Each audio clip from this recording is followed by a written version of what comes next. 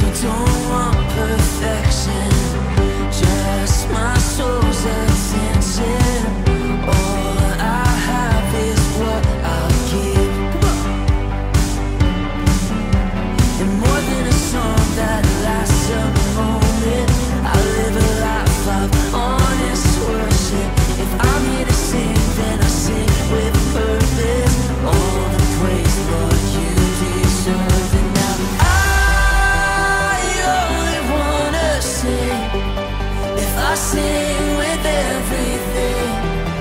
If I sing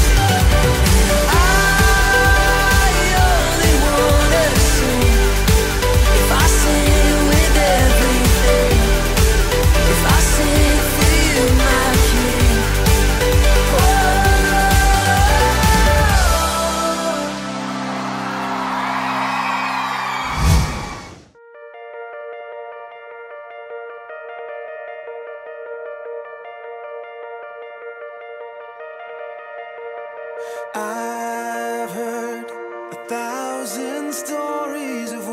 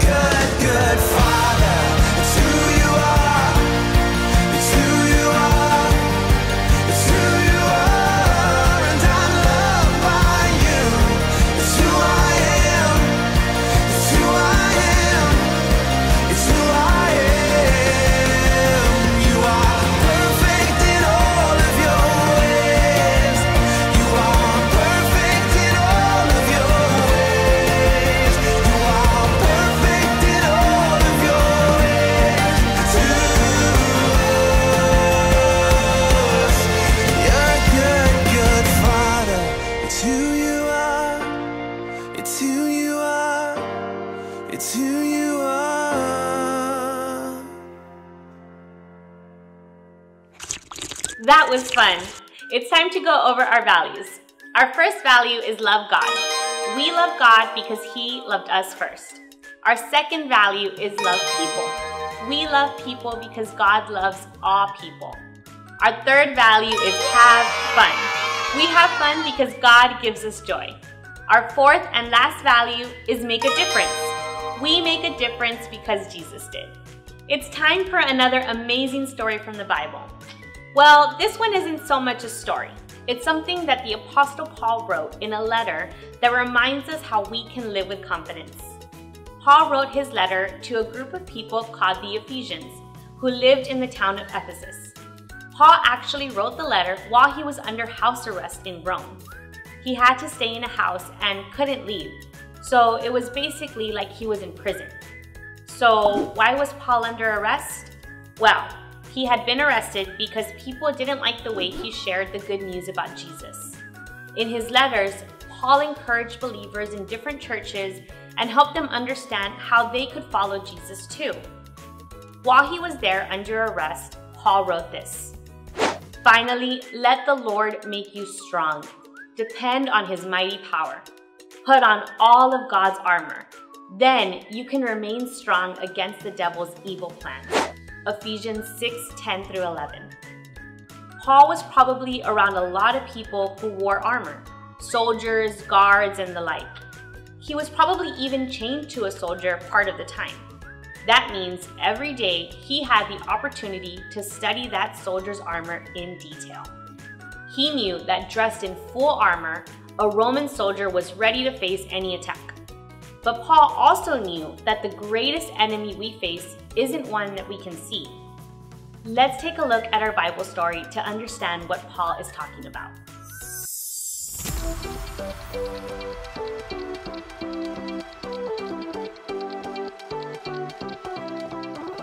What's up, people? I'm Graham, and I'll be your DJ for today's experience as we try to get to the bottom of this thing called confidence. Confidence is learning to see yourself the way God sees you. I know I need confidence, especially when I'm about to do something I've never done before. Like DJ. But don't worry, I'll be ready soon as I gear up. Let's do this! Now I'm ready. Who's up for some music? Hit it!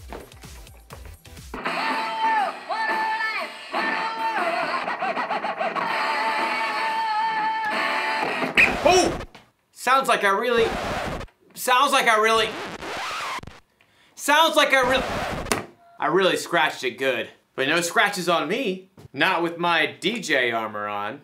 I'm standing strong. In today's story, you'll hear about a different kind of armor that will help you stand strong. Now, let me play us out.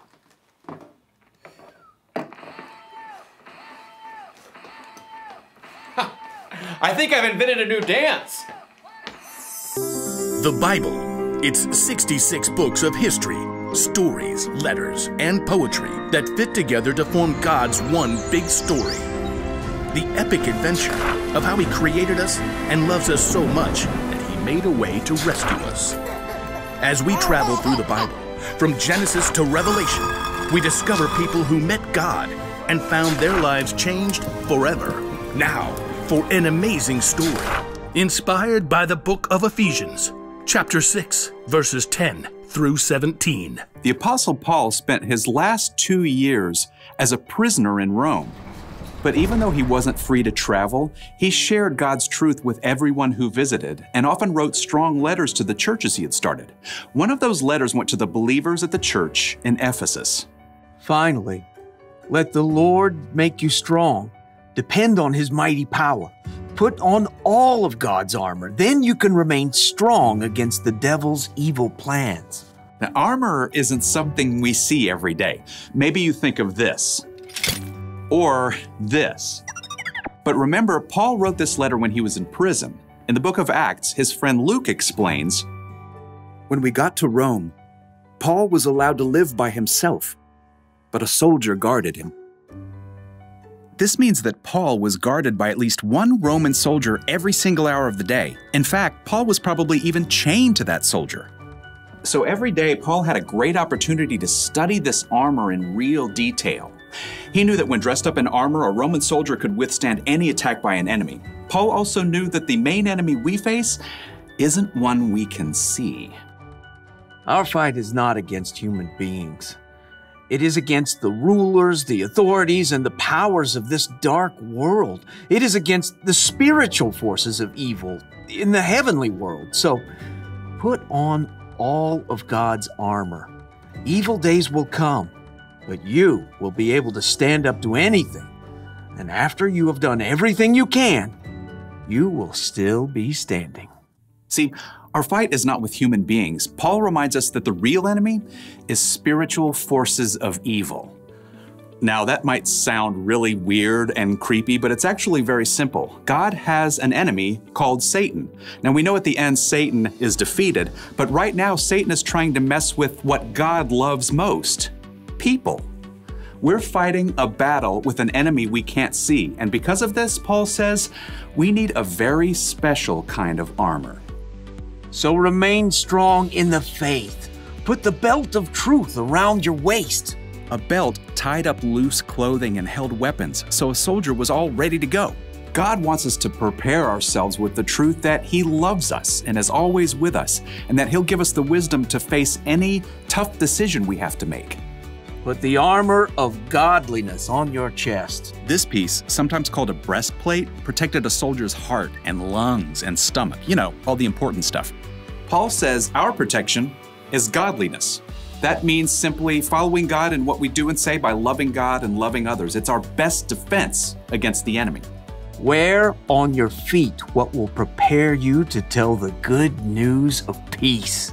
Check these out. Kind of sandals, kind of cleats. Roman soldiers actually wore shoes with nails sticking out of the bottom so they could get a good grip on rough and rocky roads. Paul says the way we can get a grip is to share the message of God's peace with everybody we meet, wherever our feet will take us. Thanks to Jesus, everyone can have peace with God. Also, pick up the shield of faith. With it, you can put out all the flaming arrows of the evil one. Rejected! A Roman soldier's shield was everything. Not only could a soldier block arrows and swords and spears, but he could get right behind this and charge, pushing back the enemy. And that's exactly what strong faith in God and His promises can do for us. Maybe the enemy tries to sneak in with the thought that God doesn't love me. But you can block that right away because you know that nothing can separate you from God's love. He promises that. Or maybe you're struck with a wave of doubt that you can't make a hard choice. But you can block that when you remember that God promises to guide your steps when you trust Him. Put on the helmet of salvation. A helmet protects just what you think your head and mind. The enemy likes to sneak attack with small lies and spiraling thoughts of negativity. But if you put on the helmet of salvation, trusting in God and following Jesus, that'll protect your mind. And take the sword of the Holy Spirit. The sword is God's word. When the enemy attacks, Paul says we have a way to fight back. Our weapon is the sword of God's word. Jesus himself used God's words from Scripture when he was tempted by Satan. As Paul says, Put on all of God's armor. Evil days will come, but you will be able to stand up to anything. And after you have done everything you can, you will still be standing. When you discover God's words written down in the Bible and hold them in your head and your heart, you can stand up to any attack by the enemy.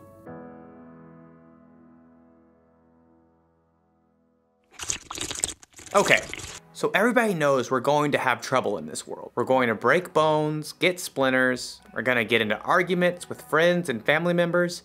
Things are going to happen. But the Apostle Paul wrote that we're also going to face troubles we can't even see. So we'd better gear up. We've got to put on God's armor. It's not the kind of armor you can see, but it is the kind of armor that will prepare you for the troubles you don't see. With God's armor, you can be protected from things like a bad attitude or negative thoughts. It can shield you from things that can make you want to doubt what's true. Plus, Paul wrote that God has given you a weapon. It's true. Paul wrote that God's word is like a sword. When voices inside try to tell you you're not good enough or that you don't matter, Your sword can help you fight back with the truth. And the truth is, you do matter. And God loves you so much that He sent Jesus to save you from your sins. So, troubles will come, the ones you can see and the ones you can't. But the armor God has given you will help you stand strong through it all. That's the one thing to remember today. Use what God has given you to stand strong. Gear up! That way, whatever happens, you'll be ready. I think I make a pretty confident DJ, don't you? I gave an excellent performance on the turntable. Some might even say record breaking. Or record scratching, anyway. I'll see you next time.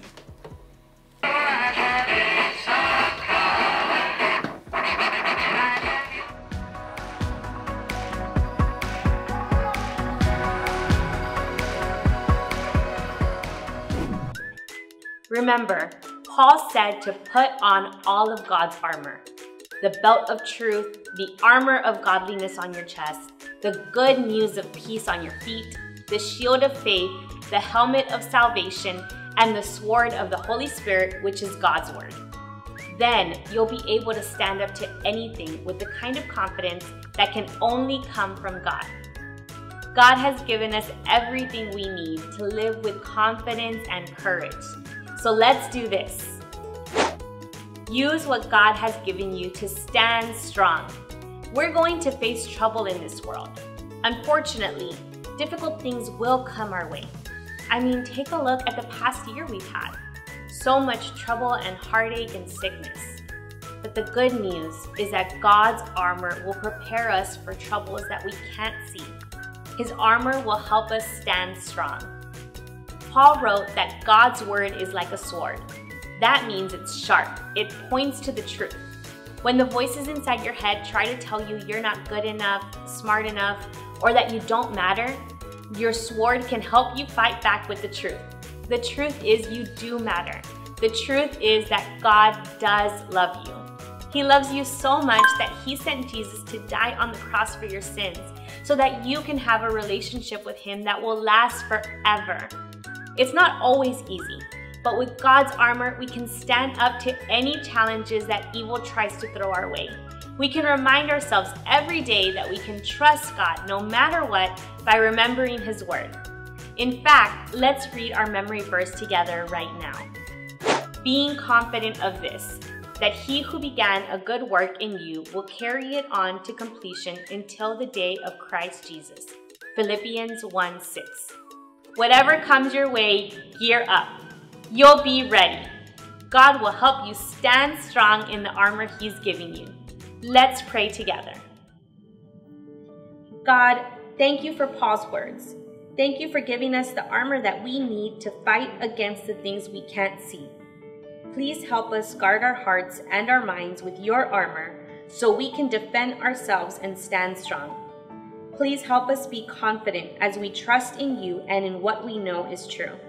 Thank you for always being there with us and helping us live your way. We love you and we ask these things in Jesus' name. Amen. Amen. Thank you so much for joining us today. We can't wait to see you again next week. Bye.